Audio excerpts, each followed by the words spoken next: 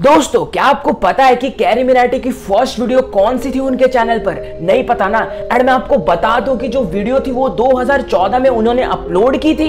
And एक interview के दौरान उनसे क्वेश्चन पूछा गया था कि आपने जब यूट्यूब को स्टार्ट किया था एंड जब आप सीरियस थे तो आपका क्या कुछ एक्सपीरियंस था? आइए एक बार देखते उस इंटरव्यू को। फोर्टीन में मैंने स्टार्ट किया था।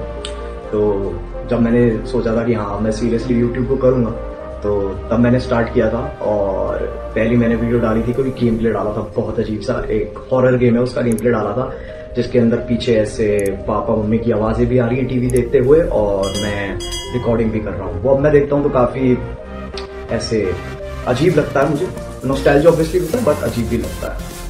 तो वो मेरी पहली वीडियो थी आई गेस